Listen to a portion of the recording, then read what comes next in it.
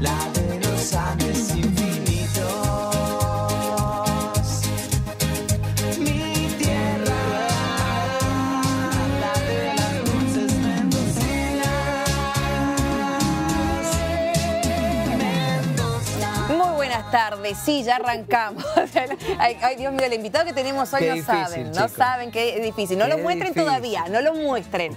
Todavía no, todavía no. Ahí se ve una mano. Ay, la- Se, va- se ve la mano. Mira, yo, mira, más allá de todo, Sí. hoy con un día como, como el de hoy, que vamos a estar muy hablando, complicado, ¿no? muy complicado y demás, está, pero tenemos que, mira, doblemente agradecerle que esté hoy acá con nosotros. No vamos a mostrar todavía, todavía no, todavía no. Pero bueno, sí no podemos quedar ajeno a lo que fue eh, y lo que está haciendo todavía en muchos Las lugares, las dejado, consecuencias ¿no? de Claro. esta tormenta feroz. Eh, yo creo que casi todo el territorio provincial, menos la acera, que no ha sido como muy complicado el, No, el tema. No, pero creo que uno de los departamentos, lo que sabemos hasta ahora, uno de los departamentos más complicados es Guaymallén. Es Guaymallén. La mayoría de las imágenes tienen que ver con ese departamento, mucho en Ciudad también. Sí. Creo que son los dos departamentos más afectados. Hemos visto los accesos, sobre todo en intersección de, de acceso este y acceso y sur. acceso sur. Y, y sobre todo esa figura, ¿no? La figura emblemática que tenemos todos los mendocinos y que siempre cuando llegamos, o es la referencia del cóndor, cóndor. a la derecha. ¿Viste? El cuando decías algún claro, turista claro. y demás. Siempre la referencia. Ay, se escucha, escucho acá por la cucaracha, chicos. Un ratito puede ser. Y mm, perdón, pero que si no, no me concentro. Pero bueno, y la, y la noticia que tiene que ver con. Le volaron la, la cabeza al cóndor. Sí, tremendo. O sea, la, la tormenta impresionante. No, yo no puedo ponerme seria, ¿qué quieren que les diga? Pero bueno, Tremendo lo de Galdeano. lo podemos mostrar, Basta, mostrarlo, sí, mostrarlo para que se haga responsable, para que se haga responsable. Está el señor Rodrigo Galdeano con nosotros, bienvenidos. Muchas gracias. Escúchame, Te costó, te costó pensamos que no venías. Complicado. llegar. Me costó llegar. Estaba eh, cuántas hojas en el piso, pero En- está en, en los ciudad, árboles, sí. tremendo, una piedra importante. ¿Te viniste Sí. por ciudad? Eh, me vine por, claro, me vine de Maipú por el acceso y llegué y dije, me voy a ir igual por el cóndor, porque digo, tiene que haber drenado ya el agua. No. Y sí. Y drenó, ¿Sí? drenó, Drenó. sí, sí, Ya está drenó, mucho drenó. Sí, Ah, pero había Gran un parte. camión eh, parado. Igual está complicado el tránsito, Y bueno, ¿no? sí, tuve media hora para Sí, pasar. sí, sí. Pero no, sí, fue una tormenta fuerte. Yo, la verdad que eh, viviendo en Maipú dije, esto es el fin del mundo, pero no fue tan fuerte ahí. Yo veía que no paraba, encima me quedó el auto afuera. Claro, y ve, yo digo, ¿qué, Qué hago? problema, ¿Salgo o no ¿no? salgo? Digo, bueno, terminó, viste, la primera tandita de, de granizo que cayó, dije, bueno, ya está, ya cayó. A los dos segundos de nuevo. Dije, bueno, no. Y metí el auto, todo lo resguardé y se Y se terminó. largó. No, Ah, ya Qué se, bien, claro. me gusta. Digo, qué bueno. Me gusta, me gusta. Podría ser meteoróloga. Claro, la verdad que... bueno, Con estaba- guardé el auto. Digo, claro, el, el tiempo estaba esperando que yo me tire el auto a la Guardé cochera, auto, entonces vecina. ahí sí. Bueno, eh, Rodrigo Galdeano, primero y principal. Sí. A ver, ya que lo presentamos, no era el momento, como siempre rompiendo los protocolos. No, me dio risa porque dijiste, obvio que es una figura que nos representa a todos. El hecho de que, bueno, el cóndor es un punto de referencia para todo. De ahí te vas para allá. Pero de que ahí te fue allá. fuerte cuando dijeron, Ah, no tiene la- a la Chimer, vos. Bueno, entonces del cóndor te ibas para allá, te ibas para allá, Una te ibas vez. para allá, Bizancio, bueno. Claro, del cóndor vos mandabas a toda la gente, ¿viste? todo. Para cualquier lugar. Pero que se le haya volado la cabeza, bueno, es tremendo. Sí, sí, sí, es tremendo. Bueno, recién la veíamos a Sofía, ¿no? Sí. Que salía al aire desde el lugar y realmente era llamativo ver cómo quedó el cóndor. Eh, Pero esto fue solamente con una lluvia. No Total. entiendo cómo voló la cabeza. No, con pero la aparte de, de relevancia nacional, to- todo el mundo ya a nivel país está hablando de la gran tormenta de Mendoza. Sí, Sí, muy fuerte. sí. muy ha fuerte. sido fuerte y sobre todo las consecuencias que siempre decimos, ¿no? Las dos caras, de, de las, sobre todo las viviendas vulnerables, Más- ¿no? más precarias, Eh, claro. Exactamente, y demás, todo lo que genera las consecuencias que vamos a estar obviamente en el Noticiero Edición Central también hablando más hondamente de todo lo que pasó, el relevamiento de lo que se ha ido haciendo y lo que se está haciendo en este momento aquí en la provincia. Pero bueno, nos metemos en vendimia. Nos metemos en Hacemos un vendimia. recreito y nos metemos en vendimia. Tenemos mucho para hablar con Rodrigo, pero antes yo creo que tenemos que conocer una reina más. ¿A San Martín nos vamos? Dale. Vamos. Vamos.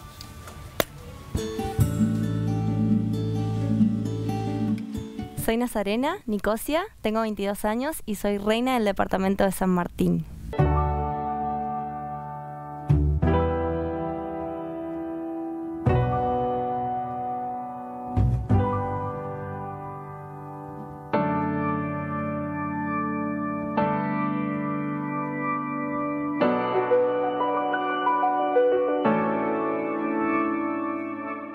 Tengo 22 años, estudio educación física en el Instituto de Educación Física en Rivadavia y actualmente estoy trabajando en una colonia de verano eh, con un montón de pequeñitos.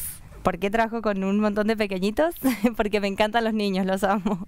Creo que San Martín tiene algo particular que no es solo su belleza eh, exterior, sino su, su gente, la gente que, que habita en San Martín es especial.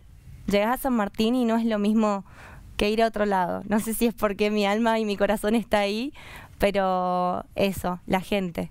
Elegí presentarme para poder ser reina de San Martín porque vengo de una historia familiar muy bonita.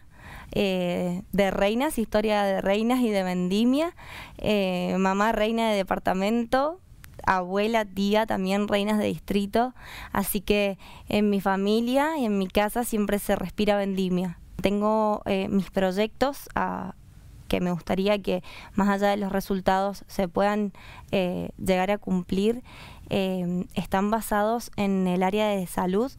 Eh, como futura profe de educación física me gustaría hacer hincapié en el cuidado de la salud sobre todo. Eh, en San Martín eh, nuestro intendente está haciendo mucho hincapié en dejar nuestras plazas súper bonitas, con un montón de... aparatos para poder realizar los ejercicios eh, y hay mucha gente que sabe utilizarlos y otros no. Entonces eh, mi proyecto está basado en poner un profe dos o tres veces por semana, eh, dos o tres horas por día para que puedan guiar a las personas que quieran ir a hacer un ejercicio, que quieran ir a hacer una actividad física y que por ahí no tengan el ingreso para poder llegar a un gimnasio, a un personal trainer o por ahí a las actividades que hay al, ai- al aire libre con profes al aire libre. Yo creo que tenemos el honor de las mujeres poder representar la vendimia eh, y poder representar a cada trabajadora sobre todo. Me parece súper importante que la reina esté y esté presente y represente a su pueblo y represente a cada persona y sobre todo a cada trabajadora. Eh, tenemos el honor, como dije recién, de las mujeres poder ser las que representamos Vendimia y es muy triste que nos quieran quitar ese lugar.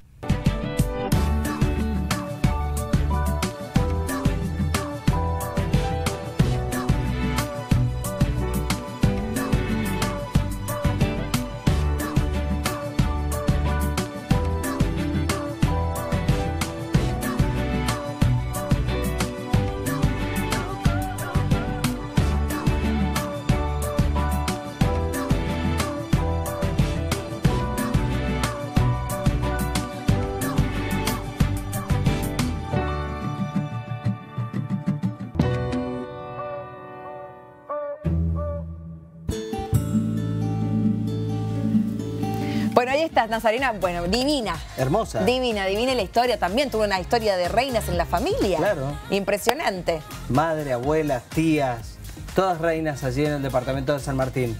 Bueno, ¿hablamos con él? Vamos con la reina del protagónico. El tomate paderita. Tomate Peri. No, pero bueno, va a ser uno de sus personajes emblemáticos y más queridos, o, uy, odiados. Odiado Y también. Odiados, porque tiene detractores también la Sí, señora, ¿eh? sí, sí, sí. Sí, sí, totalmente. De todas maneras, bueno, no va a estar, eh, eh, no va a estar presbicia en la vendimia. Va a estar eh, Doña Catalina. Pero es muy clara la tía, la prima. Es como una prima. No, la, eh, no, es, no es presbicia, mira vos. Si bien, obvio, me... me- Te me- inspiraste, te va, o sea, No, no, no. es también la personalidad, tiene la personalidad pero- y de aparte Vilma, Federico, cuando me llamaron, habrán dicho, bueno, Rodrigo, nos gusta tanto presbicia, eso yo, pero a partir de ahí veamos a ver qué, qué personaje. Y la verdad que no, no, no, no tiene mucho que ver con presbicia. Eso te quería preguntar, ¿cómo hiciste? Porque tan, tan arraigado un personaje como es Presbicia, digo, todos nos imaginamos, tenemos a Rodrigo Galdano, va a ser, aparece Presbicia Claro, allí. Me parece que tiene otra energía también. Presbicia yo la veo más achacada que a Doña Catalina. Doña Catalina Ah, es más enérgica. tiene más energía, si bien es una mujer mayor, pero tiene más energía y, y, eh, y tiene, eh, también tiene, tiene poder, ¿no? Para decir las cosas todo. Ella tiene otro tipo de poder, de poder manejar eh, una pulpería, en donde a partir de ahí le hace un honor a, a doña Melchora Lemos. Y, y bueno, es una mujer que se, imagínate, se- en la época se codeaba con, con muchos hombres y una emprendedora tenía ¿De- una de qué pulpería. año estamos hablando? Eh, fines de. Sí, del 1800. 19, Sí, fines del 1800. 19. Ah, claro. 1700 y pico. Ah. Sí. Sí, por ahí. De 1800, ya casi llegando a 1800. Ajá. ¿Y es, es, el, eh, es como el hilo conductor de toda la fiesta?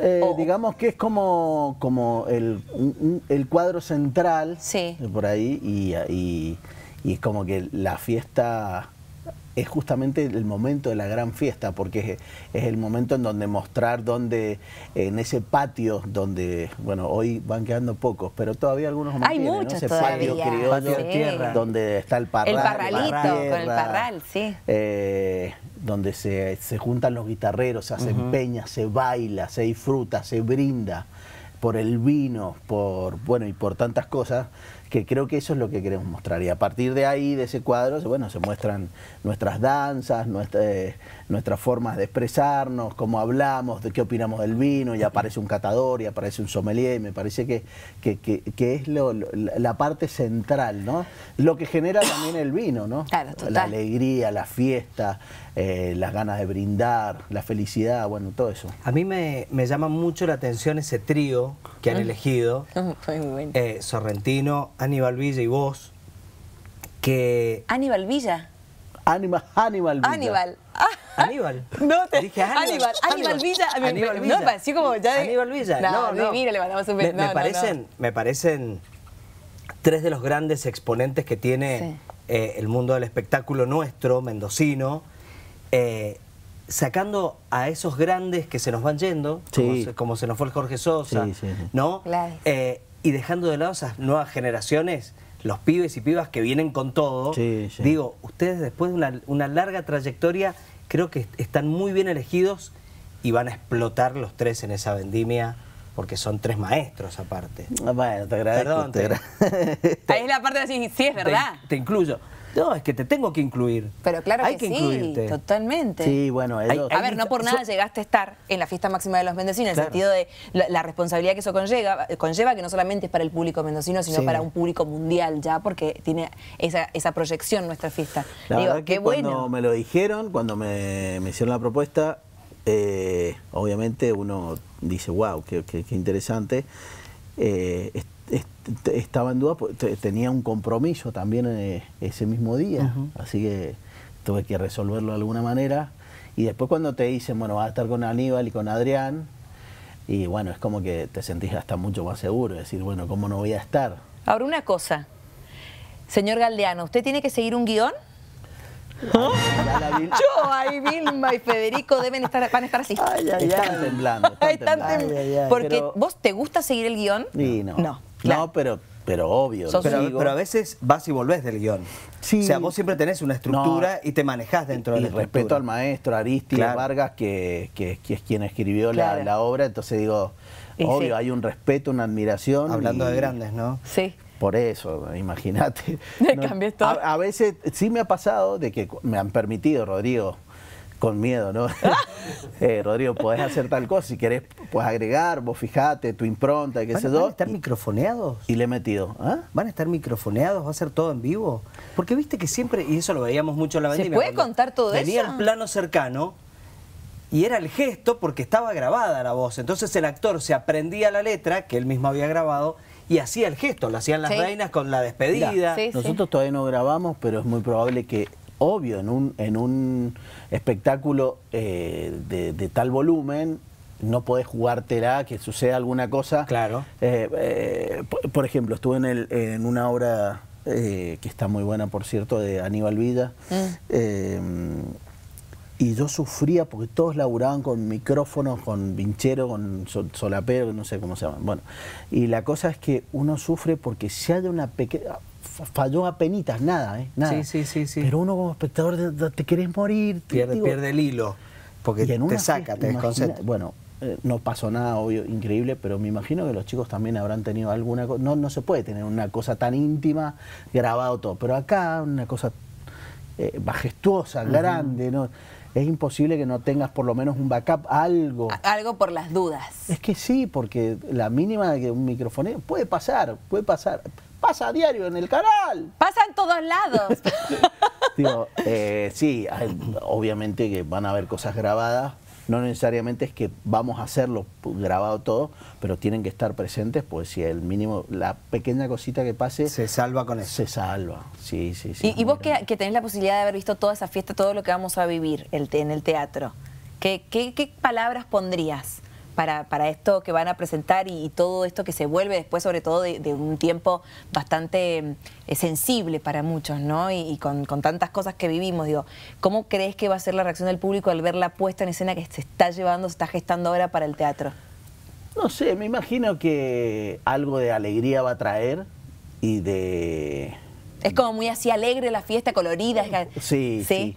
En realidad, a ver, han pasado tantos directores que Sí. creo que todos quieren que sea algo alegre, divertido y, y- y no sé, emocionante. Y emotivo. y profundo, Total, claro. Y emotivo profundo, también. sí. pero, pero bueno, a veces se llega, a veces no se llega, a veces la crítica pumba, a veces no.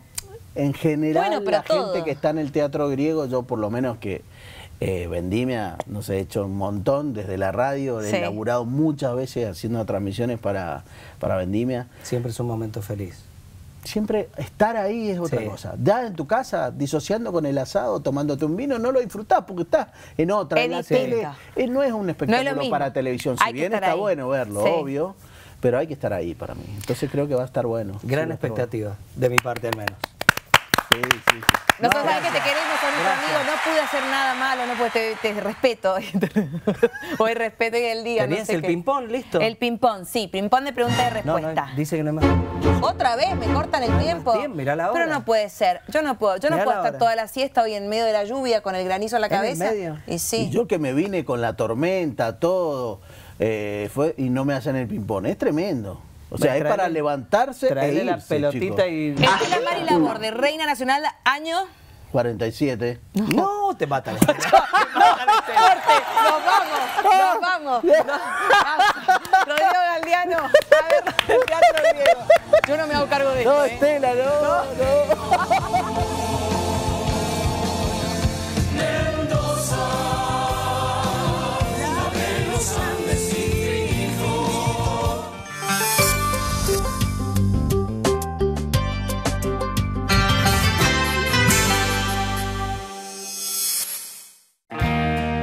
tradiciones que generan identidad,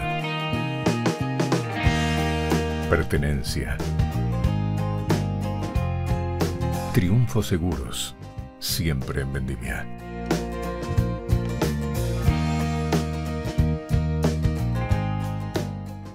Banco Credicop, el banco cooperativo ideado para que los sueños de los argentinos se hagan realidad. Hay otra idea de banco y funciona. Sumate. Banco Credicop Cooperativo. La banca solidaria.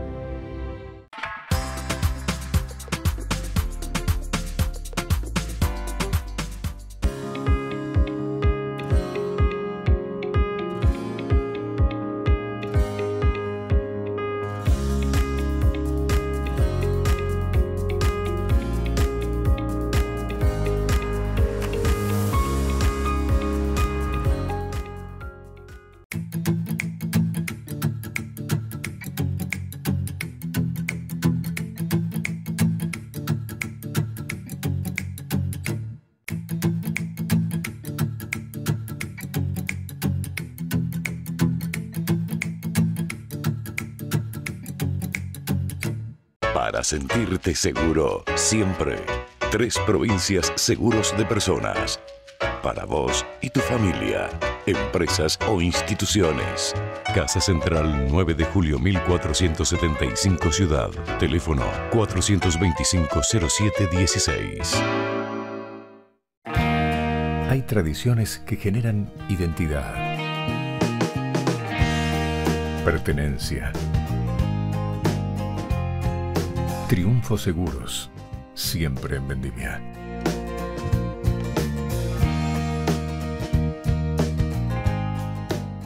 Cuando sos el protagonista de la publicidad de Superbiel, tenés beneficios, pero siendo cliente Superbiel tenés muchos más, porque tenés tus tarjetas 100% bonificadas y un 50% de ahorro en tu primera compra. Pedilas totalmente online en superbiel.com.ar. Superbiel. La oportunidad de tener tu próximo cero kilómetro está en Territorio Jacopini. Contamos con Volkswagen, Chevrolet, Nissan y ahora también OLX, donde comprar y vender tu usado seminuevo es mucho más simple. Vení a Territorio Jacopini y viví la experiencia.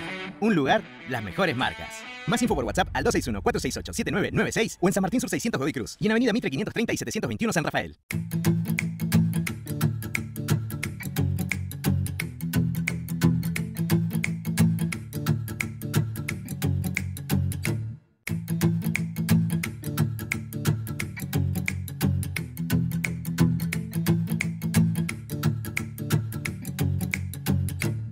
Banco Credicop, el banco cooperativo ideado para que los sueños de los argentinos se hagan realidad. Hay otra idea de banco y funciona. Sumate. Banco Credicop Cooperativo, la banca solidaria.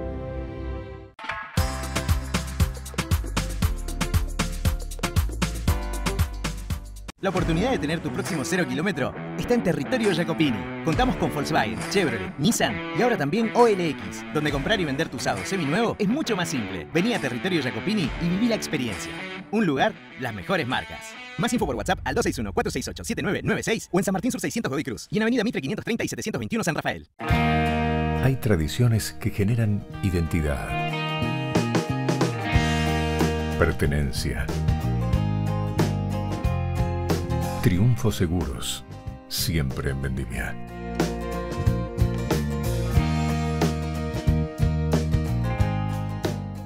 Cuando sos el protagonista de la publicidad de Superbiel, tenés beneficios, pero siendo cliente Superbiel tenés muchos más, porque tenés tus tarjetas 100% bonificadas y un 50% de ahorro en tu primera compra. Pedilas totalmente online en superbiel.com.ar. Superbiel.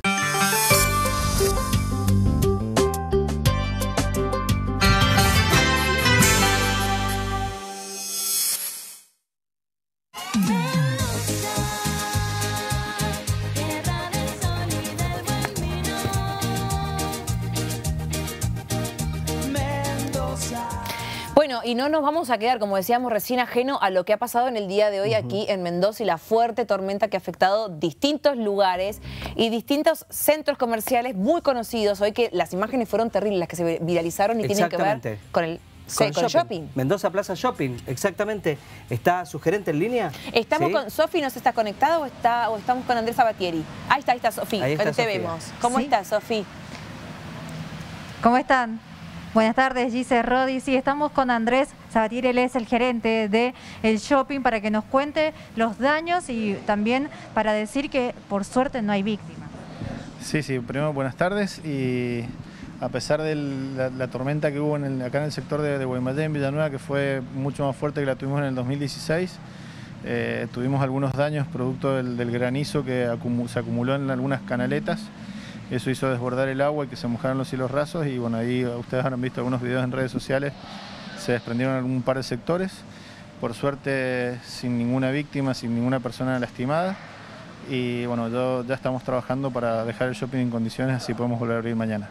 Hay que decir que eh, por estas horas está cerrado.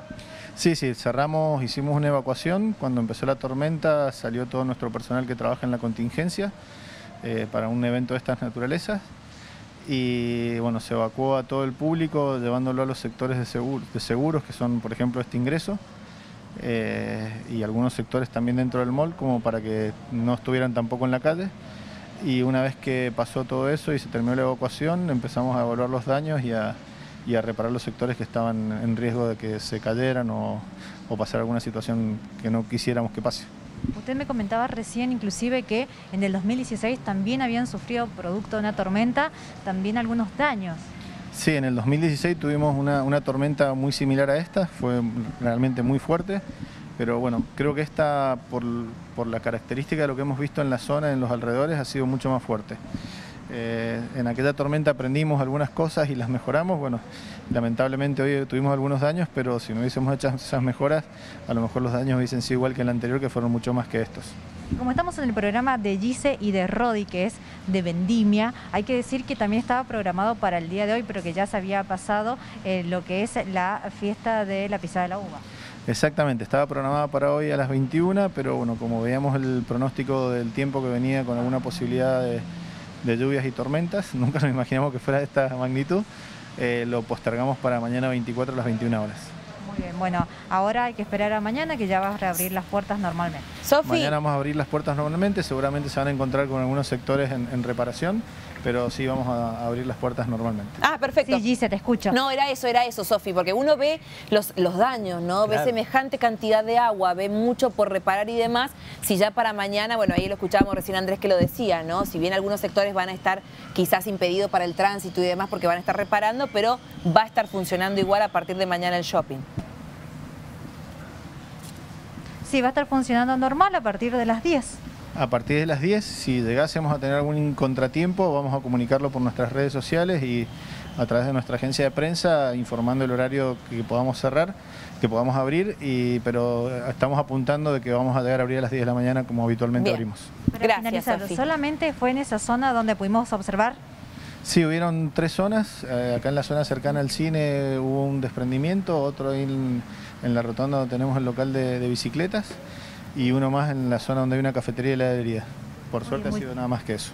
Muchas gracias.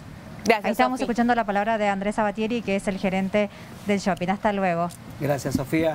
Lo que le tenemos que decir a la gente, y creo que está más que claro, lo vimos en las imágenes, eh, tratar de no transitar por la zona de donde está el túnel, porque no lo van a poder hacer y tampoco mañana. Total. No se desagota tan rápido ni tan fácilmente, así que seguramente en el transcurso del día de mañana quedará habilitado, pero no a primeras horas. Muchas gracias por habernos acompañado. Nos encontramos mañana a las 19.30, como siempre, aquí en el espacio nuestro en Sentiva Vendimia, a las 21 en la edición central de Noticiero 7. Con toda la info. Chao, chao. Chao.